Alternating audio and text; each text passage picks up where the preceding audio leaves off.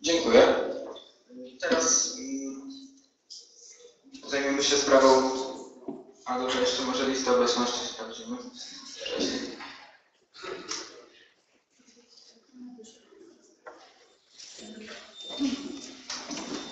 I raz poproszę przyłożyć.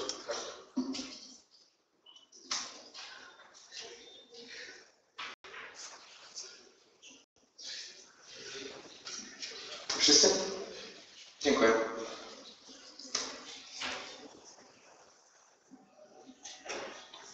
No to teraz zajmiemy się sprawą y, Dni Młodzieży. Zapraszam teraz przedstawiciela Stowarzyszenia Obrony Góry Krzykowskiej.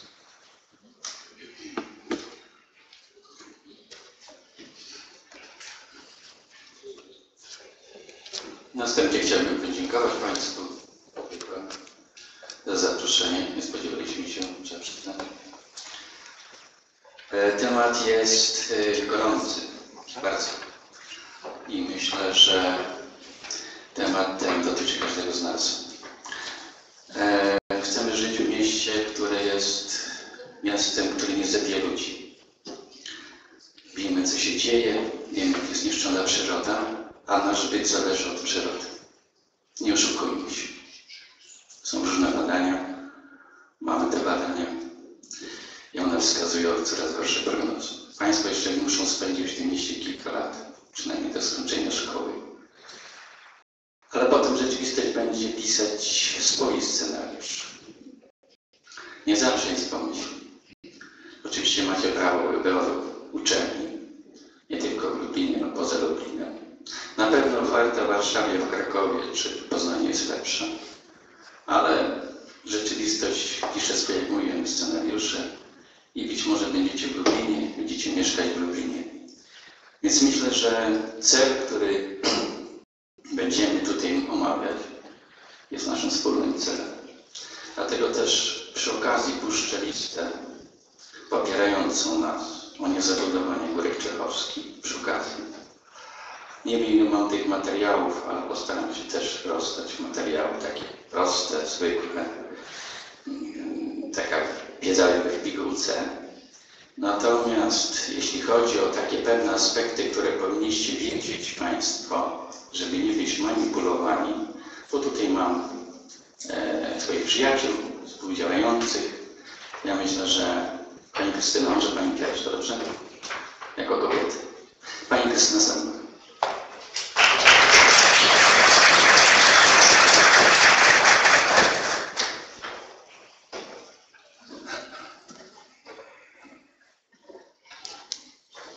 Dzień dobry Państwu. Proszę Państwa, ja jestem mieszkanką Czechowa i stąd ten temat obrony Góry Czechowskich jest mi bardzo bliski. Od lat 50., a nawet wcześniej, e, przebudowany był park krajobrazowy i w ogóle Górki Czechowskie były zawsze w planach urbanistycznych jako teren zielony. Jako teren zielony. Natomiast ostatnio w 2000 roku y, ten został sprzedany, kupił go prywatny inwestor i od tamtej pory trwają prace nad zmianą zagospodarowania tego terenu. Y, Od, od roku stowarzyszenie działa bardzo aktywnie i próbujemy po prostu obronić cały ten teren, który wydaje nam się jest bardzo ważny dla całego miasta. Powiem tylko krótko, bo myślę, że to jest najistotniejsze. Chodzi o y, względy ekologiczne. Jest to ostatni teren tak, y, takiej powierzchni. Nie ma więcej takiego terenu, y, nawet y, nie tylko u nas tutaj na Lubelszczyźnie, ale jeszcze całej materiały propagandowe? Zachował się właśnie do tego, że był przewidziany jako park. Nie będę słuchać. Jest to teren ostatnie miejsce, jakie powietrze mm, przechodzi spokojnie, bo jest wentylacja. E, Lublin został dosyć już zabudowany. Jak wiecie Państwo, Poręba jest zabudowana pod y, sam las. Tutaj kabina została zabudowana i wtedy miejsce swobodnego przepływu powietrza to jest ostatni teren naszego tu- tunelu czechowskiego. Kiedyś były trzy takie ważne e, miejsca, tunele przepływu powietrza. To była ulica Głęboka, Aleja Solidarności i właśnie Czechów. Jak wiecie Państwo, zostały te osiedla LSM, Poręba, Czupy już zabudowane wieżowcami, podobnie Staliną i Sfelinem. I w tej chwili został jeden, jedyny taki teren, gdzie to powietrze swobodnie się przemieszcza. Ponadto na tym terenie, o którym mówimy, to jest teren 120 hektarów, mieszkają, żyją y, różne owady zwierzęta, które są prawie chronione. Jest to między innymi y, chomik europejski, jest też y, motyl, motylek nieparek, który jest też chroniony mm, prawnie. I występuje cała masa roślin miododajnych, które no, są unikatowe w skali regionu, a nawet, tak jak mówiłam wcześniej, w skali kraju. Co mogę jeszcze powiedzieć o tym terenie? To to, że y, przez te wszystkie lata był chroniony. Niestety został sprzedany w 2000 roku i obecni właściciele starają się o zmianę sposobu zagospodarowania i y, myślę, że dosyć skutecznie, dlatego że wiemy, że już są prowadzone i widzimy to prowadzone roboty budowlane, które systematycznie niszczą, zasypując na przykład y, teren strzelnicy. Co jeszcze chciałam powiedzieć, to to, że jest to także miejsce, mm, tam są wąwozy, nie wiem czy wszyscy Państwo znacie Ludwik Czechowski, jesteście Państwo młodymi ludźmi, ale warto się tam wybrać o każdej porze roku. Ale jeszcze dodam taki wątek historyczny, że w jednym w wąwozach były także prowadzone rozstrzeliwania. W wąwozach wywożono więźniów z Majdanka, z zamku i tam prowadzono egzekucje. I powiem w tej chwili lubelski IPN zajął się tą sprawą. Czy y, tutaj Pan z obrony Burek Czechowski powiedział, że żeby żyć w czystym mieście, to trzeba w tej chwili obronić ten teren ostatni, jaki nam został. Myślę, że e, leży to także głównie w rękach Państwa. Liczymy na Państwa pomoc, na Państwa wsparcie, bo jest, y, bo jest to bardzo ważne, istotne dla nas, nie tylko dla nas, e, myślę tutaj teraz żyjących, ale także dla przyszłości. Czy macie Państwo jakieś pytania? Czy chcecie Państwo coś jeszcze się dowiedzieć z historii może tego terenu, czy o ekologii? Chętnie służę odpowiedzią. Ja chciałbym się spytać, dlaczego park nie został wybudowany przed tym 2000 rokiem? Proszę. Dlaczego park nie został wybudowany przed 2000 rokiem? Przed 2000 rokiem y, był to teren wojsk należący do Agencji Mienia Wojskowego i y, też pewnie Państwo nie wiecie o tym, bo jesteście Państwo młodzi, ale rodzice pamiętają, były tam prowadzone ćwiczenia wojskowe. Teren był własnością Skarbu Państwa, ale należał do Wojskowej Agencji Mieszkaniowej i to ona sprzedała, wymusiła przetarg. Wtedy rzeczywiście Rada Miasta i miasto mogło kupić ten teren. Nie był wtedy drogi, bo to było 12 milionów złotych. Dla miasta to nie jest to duża cena. Nie potrafi Pan powiedzieć, dlaczego zarząd wtedy podjął takie, y, taką decyzję. Dobrze, jeszcze mam tylko dwa pytania. Jedno to jest tak, na jak długo da się ochronić Górki Czechowskie? Na jak długo? Bo wiemy, że w przyszłości i tak czy siak, prawda, no, wszystko się zostanie, będzie rozprzestrzenione, tak, lub się będzie poszerzał i tym podobne, także jak długo będziemy mogli chronić? Proszę Pana, wydaje mi się, że niekoniecznie ten teren może być rozprzestrzeniony. W, y, Lublinie nie były prowadzone ostatnio żadne badania, które potwierdzałyby konieczność zabudowy wielorodzinnej lub jednorodzinnej. Lublin nie, w Lublinie nie brakuje mia, y, mieszkań deweloperskich. W Lublinie owszem, brakuje mieszkań, ale takich, które byłyby budowane przez miasto i miałyby trochę niższą cenę. Natomiast nikt w Lublinie nie prowadził badań, czy taka ilość mieszkań komercyjnych jest e, konieczna.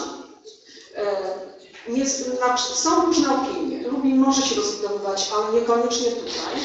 Oczywiście jest droższe, bo, bo trzeba zrobić, całą infrastrukturę. Natomiast wydaje mi się, że takie tereny jak ten należy bronić, bo proszę Państwa, na pewno Państwo czytacie, jeździcie teraz po świecie. Czy teren w Nowym Jorku, Central Parku nie jest drogi, a mimo, to, a mimo wszystko został, prawda? Buduje się dookoła, a ten teren pozostawiono. W Londynie, jak są e, różne wycieczki właśnie organizowane do Londynu, to są tam całe tereny zielone, gdzie wypasają owce. I to jest też centrum. Więc wydaje mi się, że należy wyjść z tego założenia, że brońmy to, co jest w tej chwili, bo żadne nasadzenia potem, czy zielone dachy, czy kostka brukowana, w którą się sieje trawę, nie zastąpią tego powietrza i tej zieleni przestrzeni, jaka w tej chwili jest. I ostatnie pytanie. Czy jest możliwość budowania tego parku, czy jest możliwość ocenia tego, tak, żeby inni też mieli do tego większy dostęp? Bo jak dobrze wiem, Górki Czechowski, Czechowskie no, są trochę opłakane tam tak jak tam Stróżki są, prawda, tam ziemiste, wszystko jest zatarte i tym To podobne. prawda, to prawda, ten teren nie jest w tej chwili idealnie zadbany, gdzie chętnie wszyscy by poszli, bo przez lata był zaniedbywany. Nikt nie inwestował w ten teren.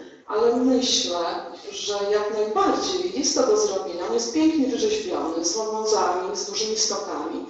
Na pewno można wszystko e, zorganizować, na pewno można zainwestować odpowiednio i, i po prostu tą przestrzeń zurbanizować. Dobrze, co mnie Dziękuję bardzo. Dziękuję. Jeszcze chciałem tutaj powiedzieć jedną rzecz. Prawda, Górki Czechowskie to też jest teren, na którym można odetchnąć świeżym powietrzem czy coś takiego, ale też to jest teren rekreacyjny. Tak. Przy pomniku są ustawione rampy, są zbudowane przez młodzież rampy, na których skaczą na rowerach. Często właśnie tam też kształtują swoje, że tak powiem, no, marzenia czy coś takiego, skacząc na rowerach, ucząc się, potem wys- wystartowując w jakichś zawodach czy coś takiego. I to by było dobre zostawić te górki, bo naprawdę ja tam spędziłem dwa lata wakacje. Y, I naprawdę to był dobry czas. Nauczyłem się niektórych trików na rowerach czy coś takiego i też jestem za tym, żeby zostawić ten teren. Czy ktoś jeszcze? Dziękuję.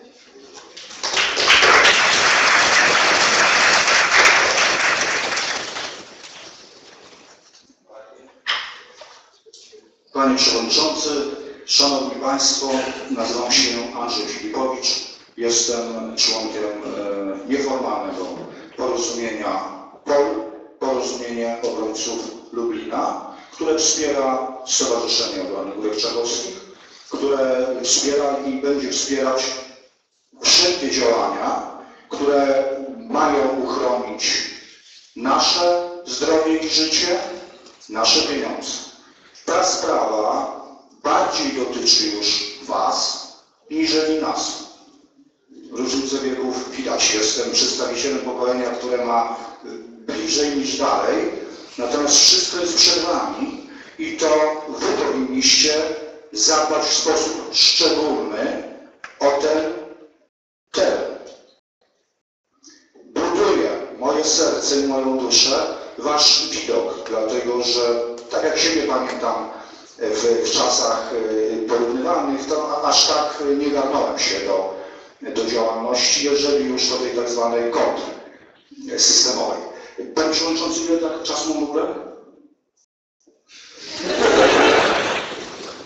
Na komunię rowery dostałem, więc e, proszę ewentualnie o kontrolę. Nie mam zegarka. To tak e, bardziej do, do rozładowania atmosfery, która się będzie e, napinała, mówiąc kolokwialnie, ale tak jak powiedziałem, tu chodzi o coś znacznie większego niż e, interesy garstki wspaniaków. Tak to trzeba traktować e, na poziomie e, wiedzy, wiedzy merytorycznej. Pod koniec wystąpienia odeślę wszystkich Państwa do zawartości cyberprzestrzeni, gdzie cały proces jest udokumentowany i gdzie, gdzie ma miejsce w postaci innymi prezentacji interpretacja faktów. Nie opinii, tylko faktów, dlatego że w prezentacjach, jak i, jak i pozostałe materiały powstały w oparciu o dokumenty. Dokumenty wytwarzane przez sądy rejestrowe, to dotyczy na przykład praw własności, dokumenty wytwarzane przez doradców Urzędu Miasta Lublin, czyli dokumenty, opinie, opracowania finansowane ze środków publicznych, czyli również e, z naszych pieniędzy. I są tam również dokumenty, które zostały wytworzone na zlecenia komercyjne, czyli potencjalnego dewelopera. Y, Na razie na słowo musicie to przyjąć, drodzy Państwo. Otóż tych dokumentów jest ponad 50. Osobiście poznałem prawie wszystkie i pośród tych dokumentów nie ma ani jednego, ani jednego, który potwierdzałby informacje e, de facto będące dezinformacjami.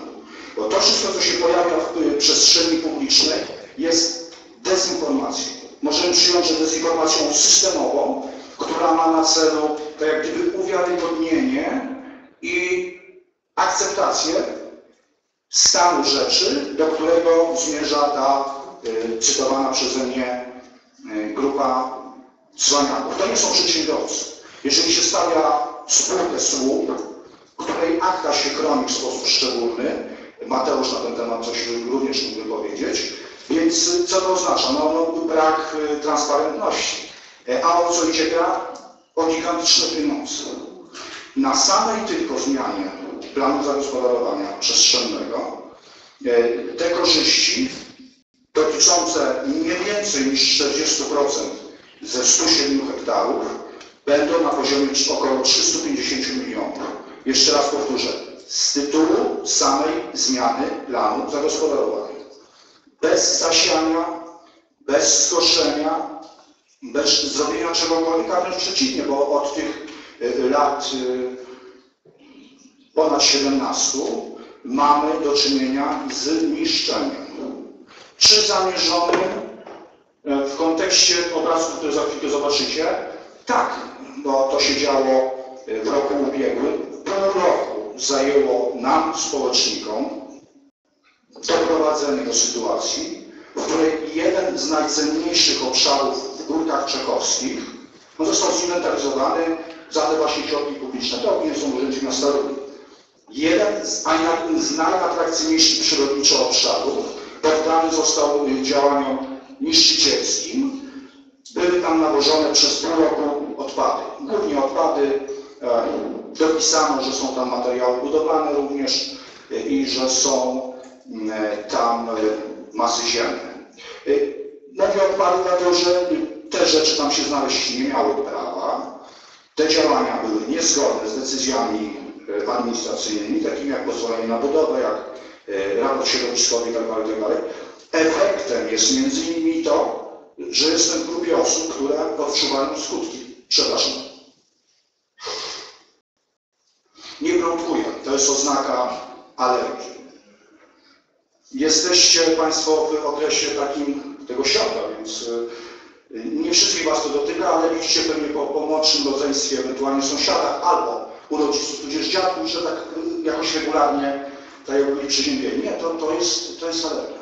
Alergia powstaje między innymi wtedy, kiedy nie ma właściwego przewytrzania. O smogu się ostatnio bardzo dużo mówi.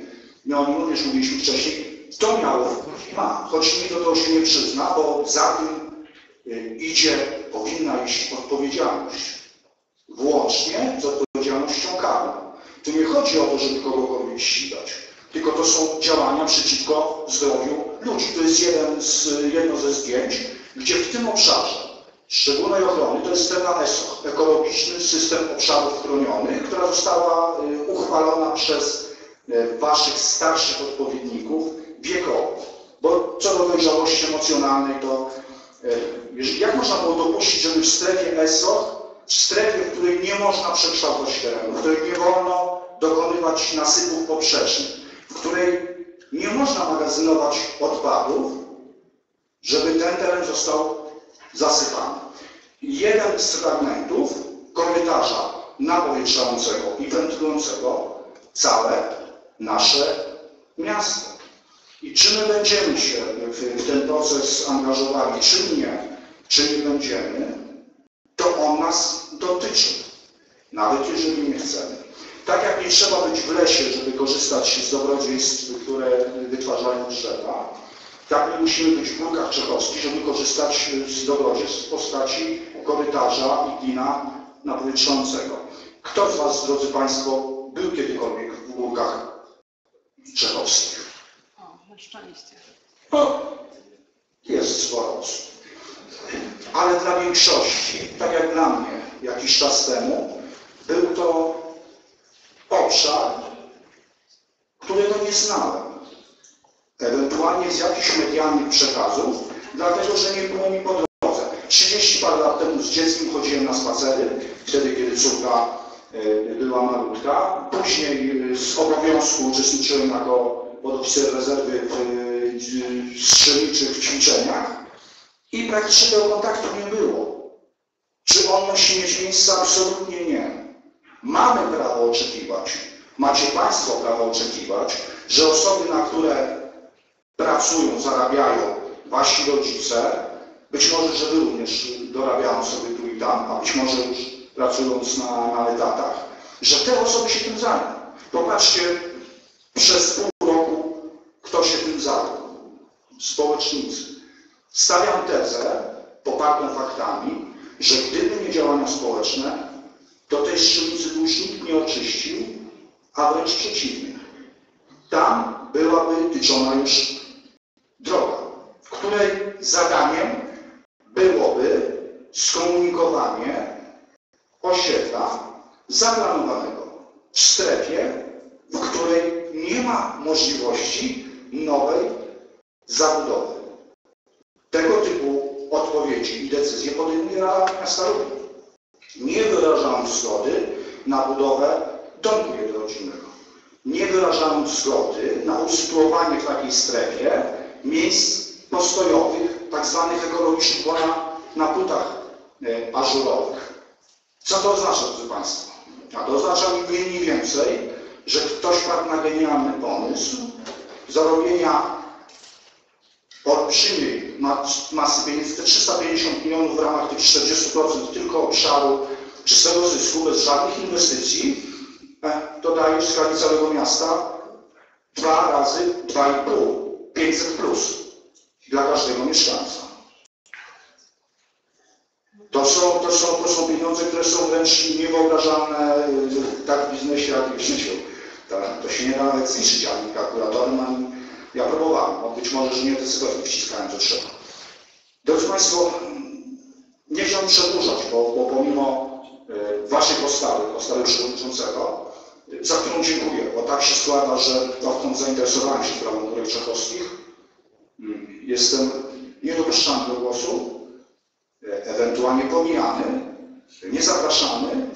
Jestem z tej grupy, która została jak gdyby wprowadzona na pewne ścieżki, na pewien tok rozumowania i gdyby, gdyby nie te fakty tego, tego niedopuszczania, czy też wręcz próby wyrzucania, ale to jeszcze mam z czasów, w których wy teraz jesteście. Jak wyrzucą oknem, to się wchodzi drzwiami, ewentualnie w robię. Sami wiecie, jak, jak trzeba to robić. Otóż, drodzy Państwo, rok temu zainteresowano mnie jako wtedy przewodniczącego Rady Dzielnicy Czechów Południowy tym tematem i zapewne, gdyby nie działania skoordynowane, ale czas pokazał, że bezmyślne strony, która jest y, wspierającą dla niecnych planów dewelopera, byśmy się dzisiaj nie. Tak jak 99,9% mieszkańców miasta Lublin i radnych tej rady i tej starszej rady czekalibyśmy na wyłożenie dokumentów w postaci nowego projektu Ministerstwa Planu Zagospodarowania Przestrzennego, gdzie stwierdzono że są one zgodne ze studium i i wszystko wskazuje na to, że uchwalono tę zmianę, ale czynnik społeczny spowodował to, że trzeba było zacząć od zmiany studiów. Dlatego, że w tym miejscu, w którym ktoś sobie porysował bloki, nomen nomen to powinien być teren miejski w świetle umów zawartych przez miasto Lublin, ale ktoś sobie tam porysował te bloki, y, fachowcy, specjaliści, każdy sobie może rysować. Szwagier próbował narysować, mu mówili, że głupi, bo jak można sobie rysować tu, gdzie prawo nie dopuszcza możliwości stawiania domu, no po co wtedy to rysujesz? Po co zlecasz, zlecasz pracę architektów? Architektom. Myślę, Państwo zgodzicie ze mną jakaś taka, taki brak logiki, tak? Rysują sobie tu, gdzie rysować nie mogą. A może ktoś im powiedział, że mogą rysować. Tak, były takie gwarancje i o tych gwarancjach zostaliśmy poinformowani rok temu, co zaowocowało panicznymi działaniami niedopuszczenia mieszkańców, przedstawicieli tak zwanego komitetu, petycyjnego o ochronie góry czechowskich, niedopuszczenia do udziału w posiedzeniu Rady Dzielnicy. Z racji tej, że tak jak młodsi koledzy i koleżanki y, pełniłem tę funkcję społecznie i uważałem, że dla mieszkańców, a nie, a nie dla jakiejś wybranej grupy interesów, doprowadziłem jako przewodniczący Rady do spotkania z mieszkańcami. Ceną było innymi odwołanie z funkcji przewodniczącego Rady. Co mi szalenie pomogło, drodzy Państwo, bo zdjęło balast. Nie mów, nie ruszaj, nie masz prawa i, i tak dalej, i tak dalej. Znacie to. Na jednego się mówi psior, na drugiego się mówi oszołom, na trzeciego mówi się nawiedzony. E, Przepraszam, właśnie Muszka. Dobrze, y, będę już kończył. Y, Panie Przewodniczący, Szanowni Państwo, odsyłam do trzech źródeł, które, y, w których jest udokumentowany cały proces niszczenia tego obszaru, w których jest prezentacja oparta y, na materiałach y, merytorycznych, na materiałach źródłowych i gdzie można znaleźć również dostęp do opinii, o których mówiłem. I to są strony czechów.południowy.pl tam po dzisiejszej sesji znajdziecie nagranie z tej części. Y, To jest strona lublinianin.pl i to jest strona Stowarzyszenia Górek Czechowskich. Panie Andrzeju, proszę przypomnienie adresu.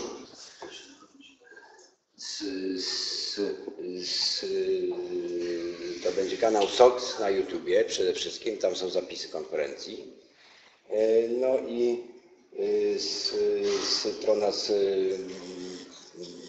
górkiczechowskie.cba.pl Dziękuję. Ulubionych mam siłą rzeczy nie wszystkie adresy y, da się zapamiętać.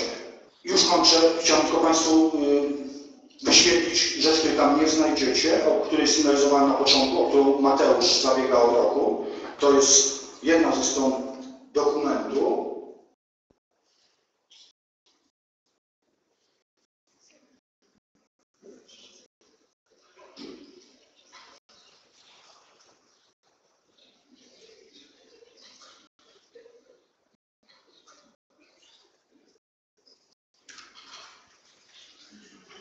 Jest to jedna ze stron dokumentu, który potwierdza y, Matys. Y, Fikcję y, i totalne wprowadzanie w błąd również, również Państwo, dlatego odsyłam do tych konkretnych stron, bo tam znajdziecie materiały rzetelne. Tak jak fikcją jest to, że można zabudować 30% górek obecnie, tak samo fikcją jest właścicielstwo. W 99,9% y, y, udziałów właścicielem jest właściciel, czyli firma Echo Investment. Firma TBV Investment y, pełni rolę tak nazywaną potocznie słupa. Dziękuję i do widzenia.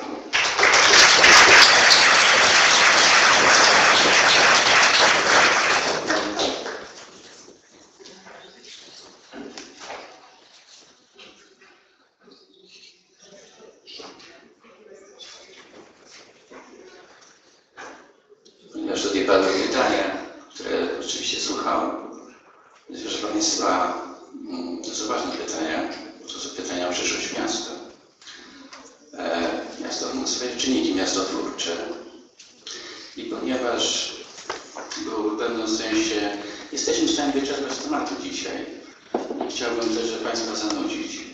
Ale temat jest taki, że dotyczy to Państwa i wszystkich mieszkańców i w ogóle poprzez pryzmat miasta jest pewna filozofia życia.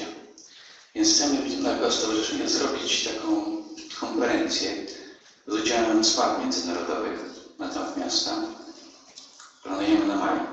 No to oczywiście Państwa już zapraszam. E, Myślę, że jak Państwo się piszą tam na listę, to będziemy mieli kontakt. To jest jakby to jedno. E, Drugie, druga sprawa są granice miasta rozwoju. Musicie Państwo sobie zdać sprawę z tego, jak tego się nie uczycie nieprawdopodobnie.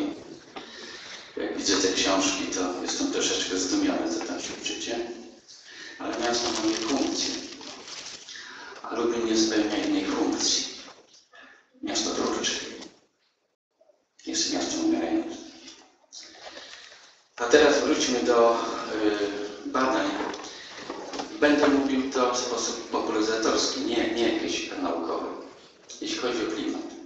Na podstawie naszych badań pana profesora Kusława Michała Kaszewskiego z Uniwersytetu Marii Skłodowskiej, e, z Instytutu Meteorologii i Klimatologii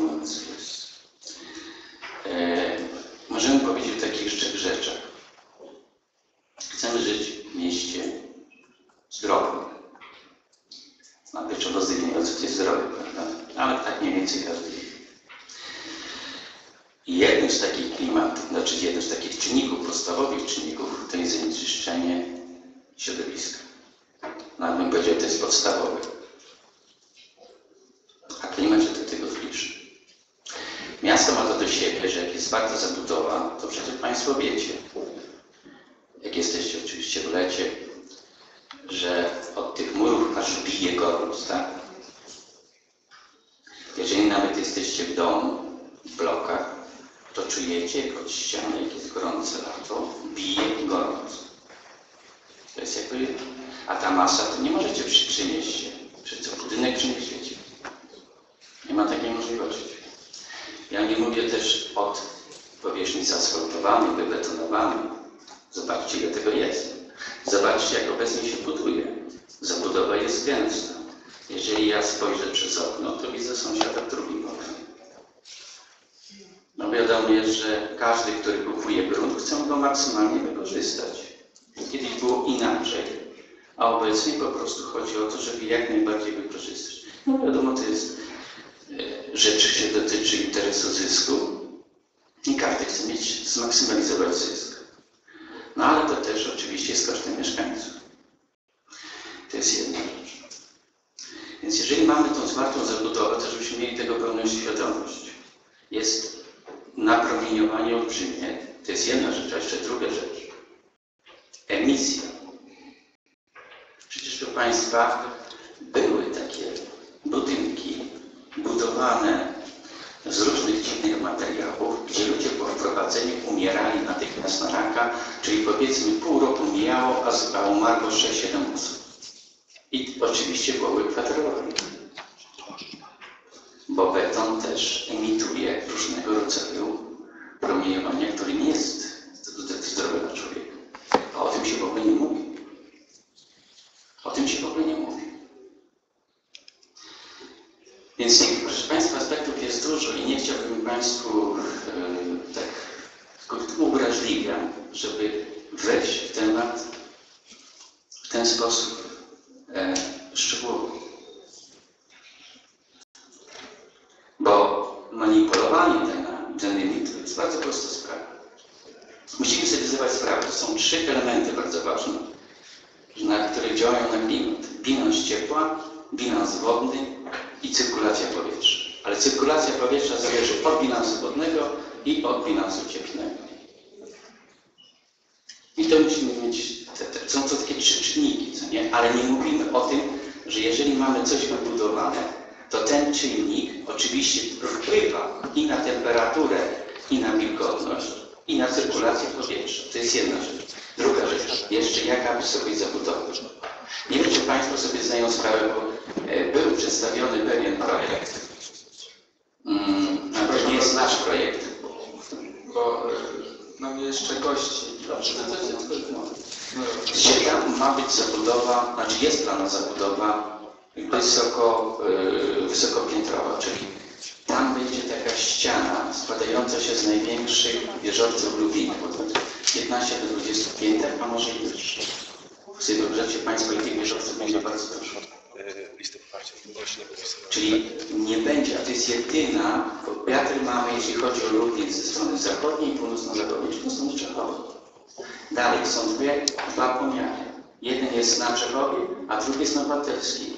Na Czechowie przychodzi, jest powietrze czyste, nie ma żadnych problemów. Na ile jest powietrze już trujące? Niewiele kilometrów. Naprawdę, niewiele. Dlatego, proszę Państwa, bardzo proszę oczywiście o poparcie, to jest raz. Myślę też, że będziemy robić różnego rodzaju akcje i też liczę na Państwa pomoc w takich różnych happeningach artystycznych na temat Górek Czechowskich i wszystkich wydarzeniach kulturalnych, które będą dotyczyły Górek Czechowskich. Dziękuję uprzejmie.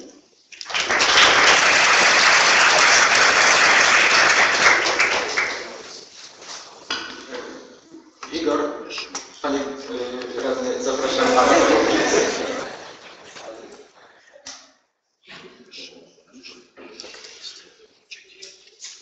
Proszę bardzo. No i zostawię wrócić dane moje. Tak, tak, koniecznie.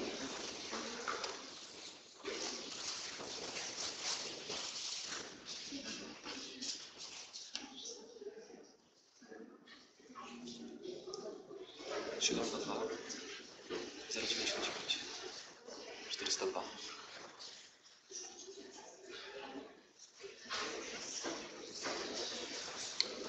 Witam wszystkich zebranych, a w szczególności przedstawicieli Stowarzyszenia Obrony Górek Czechowskich. Pragnę im podziękować za przedstawienie tego zagadnienia Młodzieżowego Miasta Lublin. A teraz chcę przedstawić Wam uchwałę w sprawie wyrażenia poparcia dla działań Stowarzyszenia Obrony Górek Czechowskich. Młodzieżowa Rada, paragraf pierwszy. Młodzieżowa Rada Miasta Lublin wyraża poparcie dla działań Stowarzyszenia Obrony Górek Czechowskich. Wykonanie uchwały powierza się Prezydium Młodzieżowej Rady Miasta Lublin. Uchwała wchodzi z życia z dniem jej podjęcia. Dziękuję.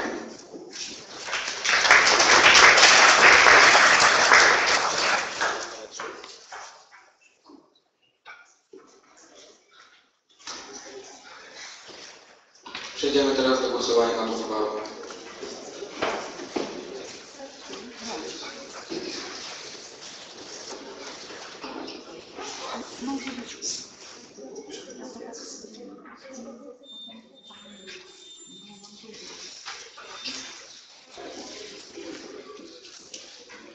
Dziękuję.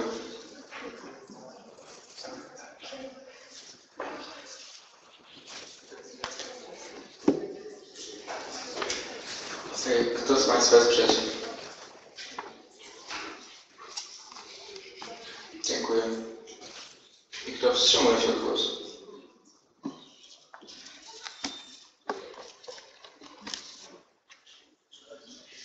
Dziękuję.